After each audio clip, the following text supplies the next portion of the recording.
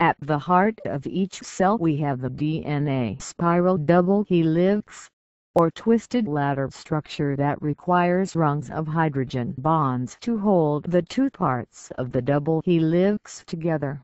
Each bond is essentially made up of a single hydrogen atom that unites two molecules.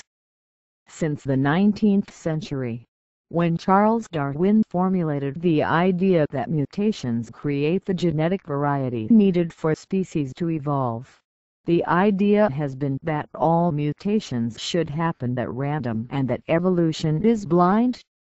But observations and experiments have shown that environmental conditions themselves play a role in the rate of genetic mutations with far faster rates than expected if the mutation occurred at random. A few people have suggested DNA mutates when the hydrogen atom tunnels quantum mechanically to the wrong half of its rung using the quantum mechanical property called superposition, before it is observed. The atom will simultaneously exist in both a mutated and non-mutated state, that is, it would sit on both sides of the rung at the same time. The problem is, this is like explaining something that we don't understand by using something else that we don't have an objective understanding of. The puzzle regarding DNA mutations is explained in this theory by explaining quantum mechanics as the physics of time with an emergent future unfolding relative to the atoms of the periodic table.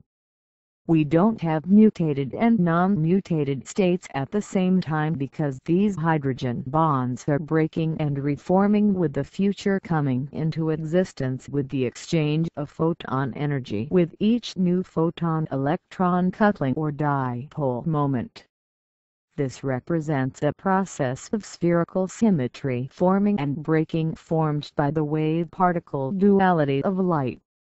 When a hydrogen bond breaks photon energy will radiate out in all directions as a probability wave. Only when this quantum wave particle function comes in contact with an atom will it collapse into a particle forming a new hydrogen bond. Therefore, we have a simple process of cause and effect with gene mutations being relative to the environment in the form of the structure of the genetic process that is unfolding.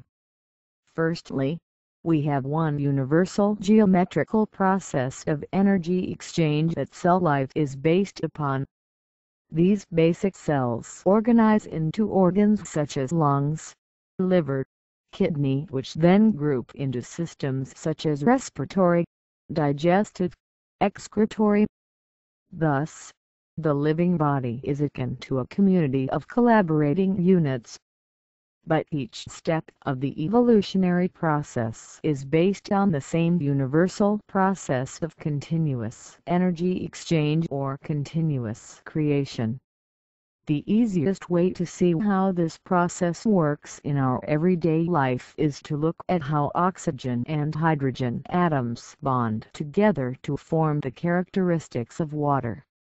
We have oxygen and hydrogen forming standing waves over a period of time in the form of water molecules.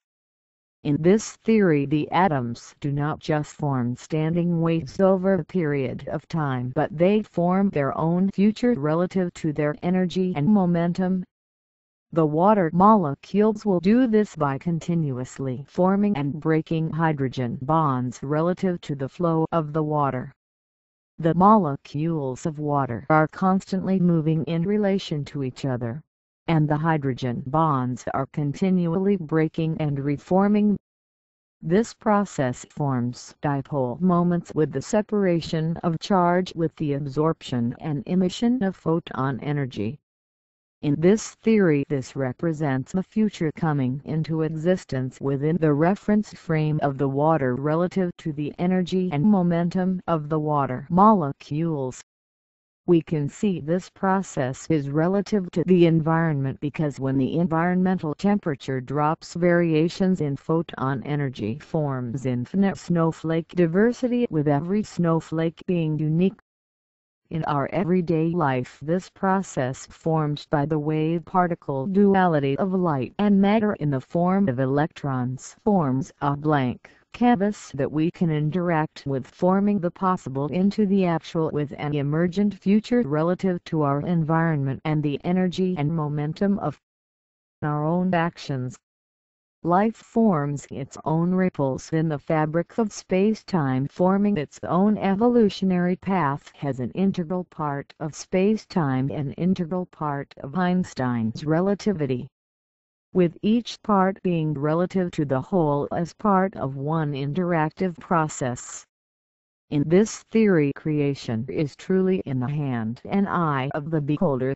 Thanks for watching. Please subscribe and share. It will help the promotion of this theory.